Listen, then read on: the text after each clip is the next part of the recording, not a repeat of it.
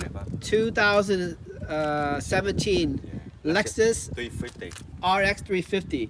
If you want to get into the door with the key, what you do is you get the key from the fob, the smart key. It sits right here. You press this button right here and you pull the key out.